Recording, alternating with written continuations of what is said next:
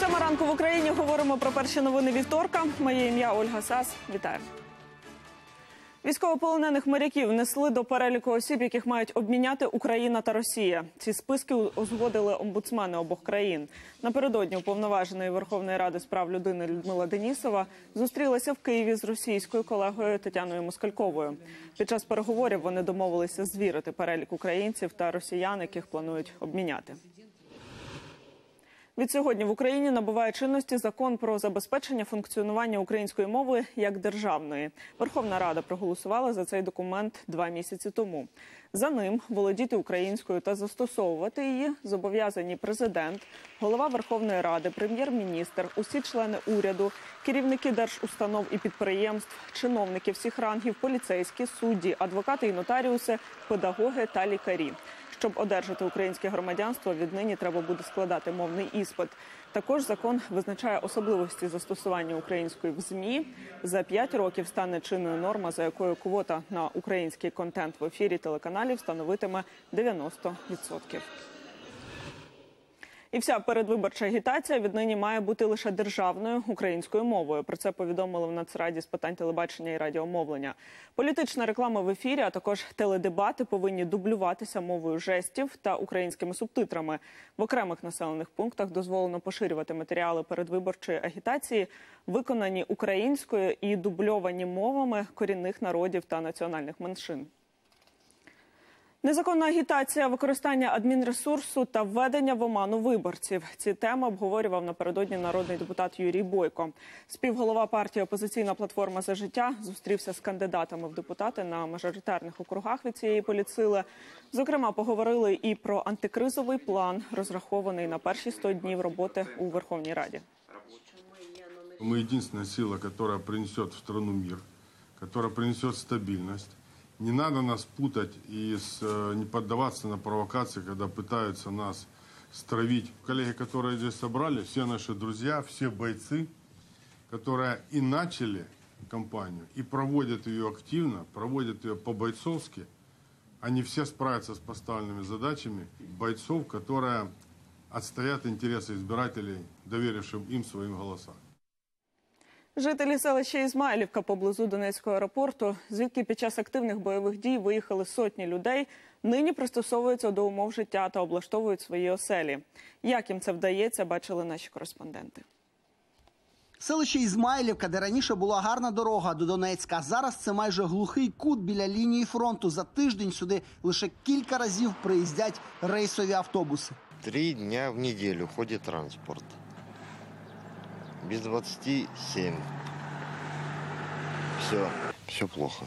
Жителі в основному пенсіонери, переважно ті, кому нікуди більше поїхати. Раз на місяць люди їдуть до Селідового. Це найближче місто. Дістатися туди найпростіше на таксі. Пять домов, нема никого. Поумирали, по разорвалам, бетон. Так и живем. Окрім пенсій, заробітків тут майже ніяких. Трохи легше влітку, бо є городи. Я не могла бросить мать, это раз. Она была пожилая. А в том смысле, что у нас в тот момент денег не было, чтобы уехать. Огороды полю людям, чтобы прожить, купить хлебушек, там масло или еще что-нибудь. Первый год я только пробую. Помидоры есть, а остальное пока все тянется. Я на рынок езжу, торгую. Все вывожу. Я занимаюсь ягодами, малина, клубника, такое. И все, короче, что выращиваю, все на рынок в Селидовский вывожу. Наталя на початку 90-х приїхала сюди з Киргизстану, втікали від бойових дій. Минуло декілька десятиліть і знову війна. Але Наталя не втрачає оптимізму. Выезжали почти все. Сейчас люди повозвращались только в начале, где дома побиты, негде жить. А так живут, почти все вернулись, где им деваться. Вон крышу на- у соседки перекрыли, у кого крыши побиты перекрыли, у кого дома восстанавливают. Вон, если вы видите, там мешок, там мешок, то, то привозят стройматериалы, и люди восстанавливают дома. Так что ну, Красный Крест в основном помогает. Майже на кожному будинку тут висять ось такі написи. Відремонтована за допомогою міжнародних організацій чи фондів. Так і живуть за кілька кілометрів від фронту та за п'ять років від миру. Руслан Смещук, Дмитро Курченко та Анатолій Воробей. Новини телеканал Інтер. У Чернівцях активісти знову вийшли на дорожній протест. Вимагали відремонтувати єдину в місті об'їзну вулицю. Спершу трасу хотіли перекрити, але згодом передумали і взялися блокувати рух вантажівок. Як відбувався пікет і чи почули мітингувальників, наші журналісти розкажуть. Суцільні вибоїни та метрові ями. Це вулиця Хотинська у Чернівцях. Єдина об'їзна дорога. Саме по ній курсують вантажівки у бік сусіднього Прикарпаття. Проїхати вулицею для водіїв справжнє випробування. Кажуть, такої дороги не бачили ніде в Україні. Скільки їздю цією дорогою, то дорога ужасна просто. Ями по коліна. Відремонтувати вулицю місцеві просять уже другий місяць. За цей час тричі перекривали дорогу. Після останнього протесту крига таки скресла. Трасу почали частково латати. На жаль, дорога ця не є приваблою і відлякує туристів сьогодні від міста. Саме головне вулиця Хотинська накладається на неї е, міжнародний маршрут М-19. Одним єдиним шляхом, який сьогодні є, це є вулиця Хотинська, яка сьогодні знаходиться в аварійному стані. Організували відразу два пікети біля в'їзду та виїзду з Чернівців. Активісти разом із патрульними не пускають до міста вантажівки. паркуйте транспортний засіб за цією Я вже підійду і повідомлю вам. Саме ваговози руйнують міські дороги, переконані активісти. Водії фур погоджуються. Проте іншого шляху об'їхати Чернівці, окрім Хотинської, просто немає. Люди повинні вирішувати у своєму компетенції. Ну не я маю тут страждати на дорозі. За лічені хвилини на трасі утворюється колона вантажівок. Вони їдуть, щоб прокормити свою сім'ю. Я сьогодні теж міг бути на роботі і заробляти, щоб кормити свою сім'ю. Але я не заробляю на ходову частину своєї машини. У міській раді ініціативу активістів підтримують та допомогти більше ніж ямковим ремонтом не в змозі.